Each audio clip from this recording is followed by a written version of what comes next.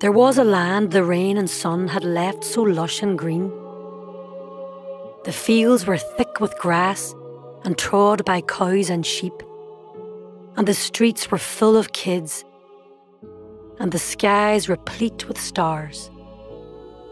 And the citizens had private lives, and the towns had public bars. But there were flags atop each telephone pole and a busy little worm in the heart of the apple.